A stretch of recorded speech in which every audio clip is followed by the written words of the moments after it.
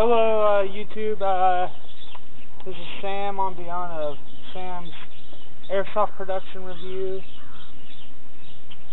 Today I'm doing a review on the German MP40. Um, I got this at the site below. Link in this, links in the description. Check it out. Um, got this for about $200.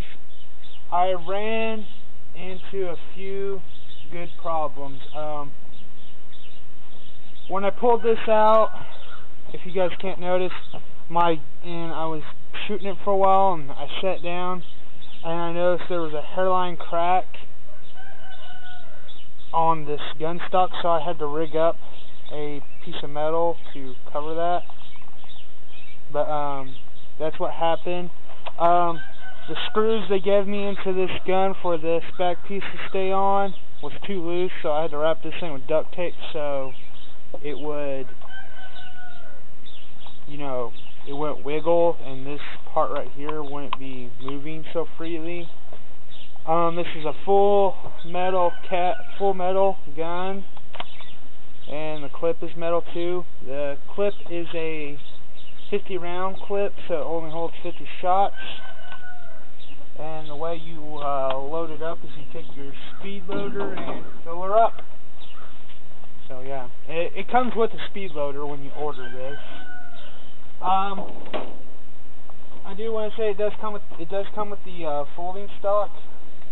Press the button on the other side, fold her out like that. Yeah, uh, full size. It actually is full size to the real MP40. Um, the battery is at 8 volt, 300 mAh. Uh, the required time for this thing to charge is 11 hours, so that's the only downfall to it is. So if you want to play with this gun, you gotta you know at least pre-plan 11 hours before the game starts and charge this battery up. Um, mostly about this gun is you know it's not bad. Um, I was kind of upset about this whole thing breaking right at the back. I was thinking about sending it back, but you know, I said, fuck it. I can fix it. I didn't want to take another chance of it, another one breaking. Um, the way you take to put the battery in is, is there's a button right here at the below right here. Pull this, turn it just a little bit. This part comes off, which then reveals the uh, gearbox. Okay, so you just uh, slip your battery in there. I like to do it like this. Boom. Grab your piece right here.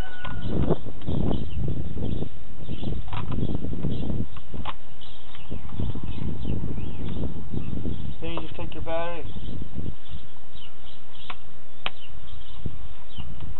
Sure, stuck and boom your battery is now in your gun.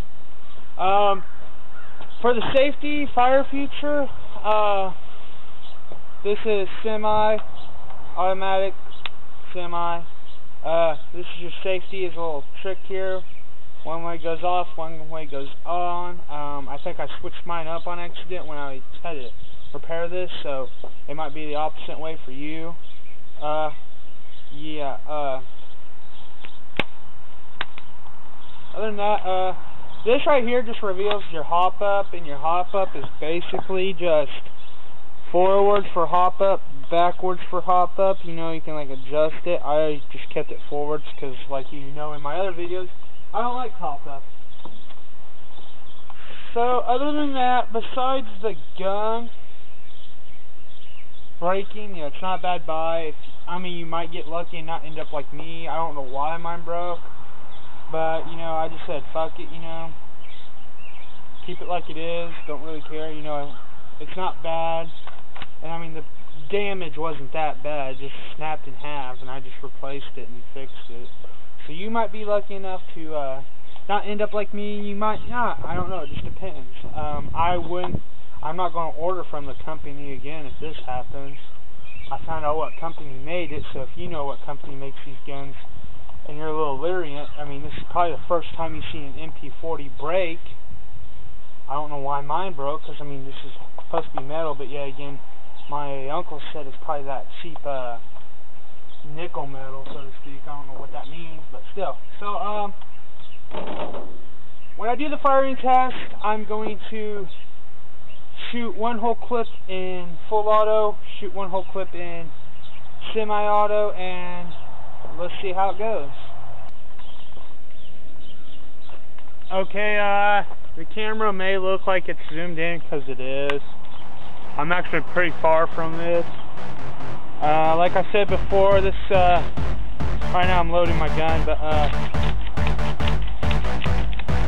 right now I'm getting ready to do a full clip on auto,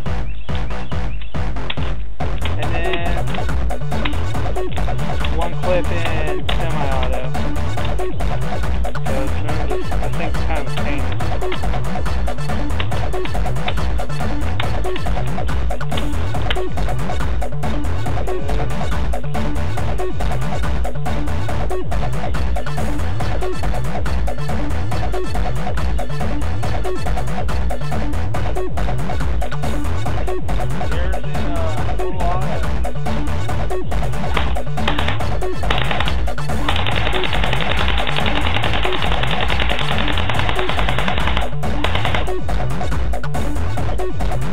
Didn't take long for this thing to take out a whole uh,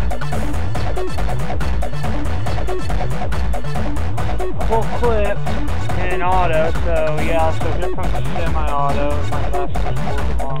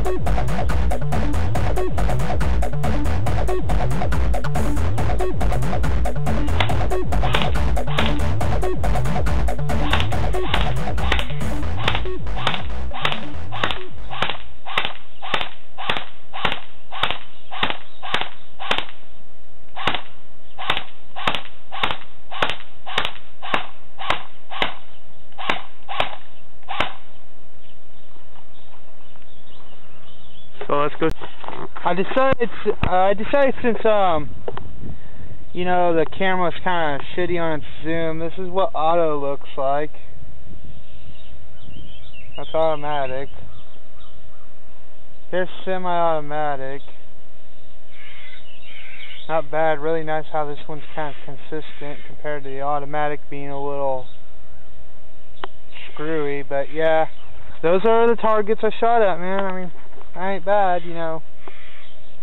Pretty decent. You know, semi-automatic is obviously more, you know, prone to be more far-fetched than the automatic. The automatic, I mean, it's all over.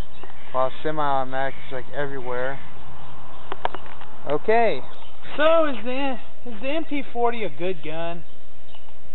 I want to say yes. Besides the downfall that my gun broke, and I fixed it up, I would suggest to any buyer that tries to buy this gun first, look for anything under $200.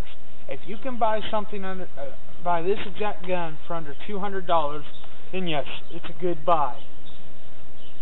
I found a few, I would share a few sites, but I can't remember which ones I found, that this gun was a lot cheaper and was the same type that the same site I just bought from.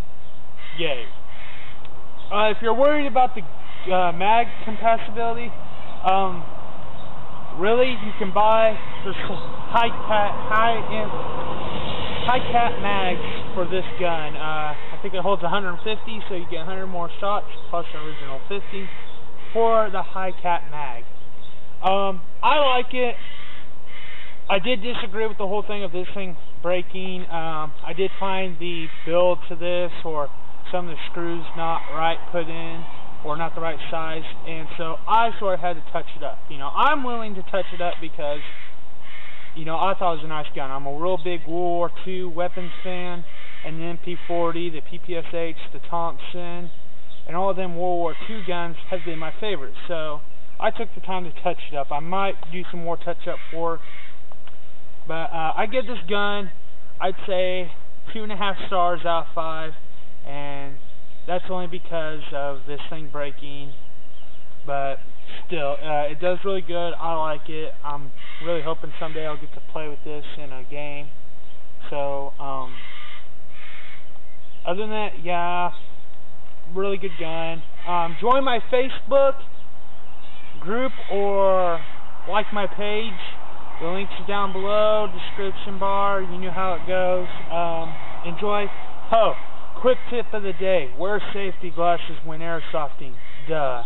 Doesn't take a genius to figure that out. But other than that, have fun, play some good airsoft, and don't be a pussy about it. And have a nice day.